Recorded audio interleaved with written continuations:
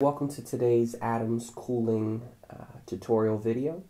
Uh, you can find more of these videos at adamscoolinginc.com or easier uh, name is youracchoice.com. They'll both take you to the same place. Um, today what I want to quickly talk to you about is uh, thermostats.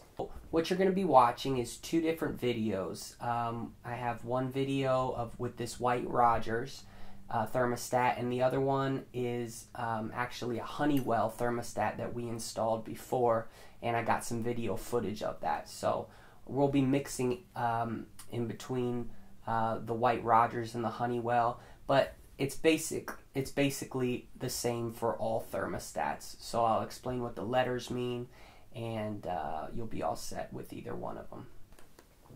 This is a, a thermostat that we use. It's a White Rogers thermostat, and it's non-programmable. And uh, I want to talk to you about installing one of these um, and kind of, you know, what they do.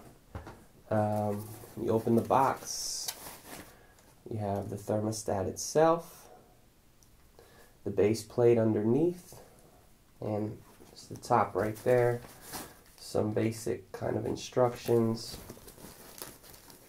Um, you have your anchors and your screws.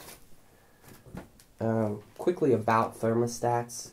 Uh, the thermostat gets power from your uh, transformer, uh, which I'll talk about in another video, what the transformer does. But uh, quickly, the transformer um, takes 240 volts power and steps it down to 24 volts. So these are run on 24 volts uh, power. So if you if you're if you do touch the wires or something, which I don't recommend, but um, it's if you do get a zap, it's only going to be 24 volts. So uh, that's kind of nice instead of working with 240 volts, where you're really going to feel it if um, if you get zapped. All right, but instead of chancing a zap, let's go ahead and turn off the breaker to our air handler. The air handler has the uh, transformer in it, which supplies power to uh, the thermostat. So um, these come from 24 volts from the transformer. Um, it also has, you have a batteries, uh, comes with batteries in here. The air handler, uh, for those who don't know, is your indoor unit. Uh, it's usually in your garage or it's in um, your attic. So power supplies the transformer, which supplies your thermostat. Now your thermostat, when you take this off the base plate, um, you'll be looking at this, which will be mounted to the wall. Now the way that you mount this to the wall is with these anchors um, you'll take a screwdriver, a, a, a, thin flat blade screwdriver, um, you know, push it through the drywall, um, maybe a couple inches, or if you have a wood, if you have a wood uh, uh, stud on the back, you can uh, screw into that.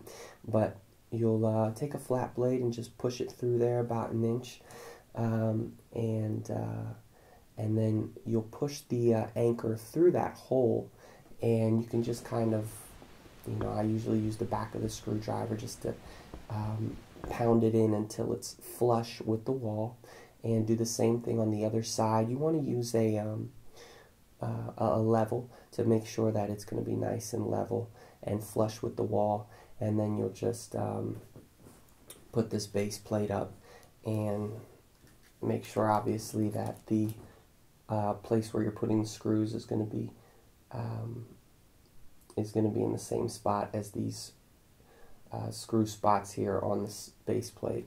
And you're going to put that in there and then take the screws and put them on. So once you're looking at this um, there's a couple things you want to keep in mind. Number one it's usually set to gas right here and you just want to switch that over uh, in most applications unless you have gas to electric. So you'll switch that over to electric. And, um, and you know, what are these letters here? What do they mean? C, G, uh, O, Y, uh, R, C, B, R, H, and W. Um, well, the main that you, the main ones you're going to worry about, unless you have a heat pump, um, is uh, is G, Y, R, C, and uh, W. Okay, and um, um, and then if you do have if you do want to use your common fifth wire, you would use C. So when you come to the um, wall where your thermostat is and you're changing the thermostat, um, you're going to have a, a, a, thermostat wire coming out, and it'll have five, um, four or five smaller wires coming out.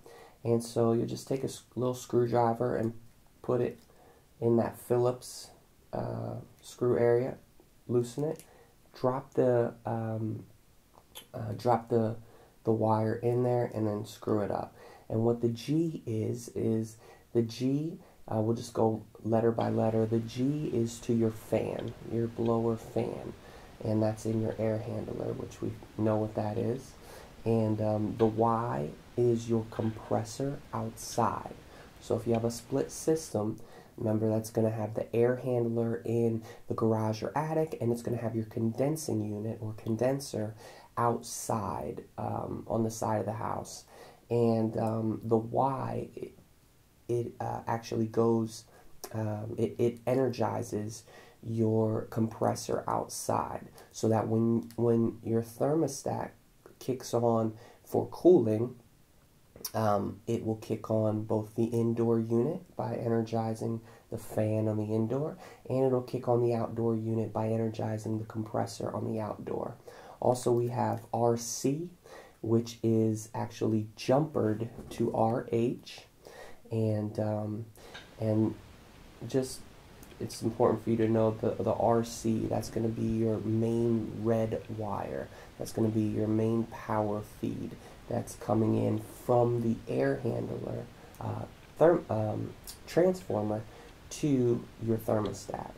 So uh, when it, your thermostat senses it's time to come on, uh, power will be sent from the transformer at your air handler to this red wire, which you'll put over here in RC.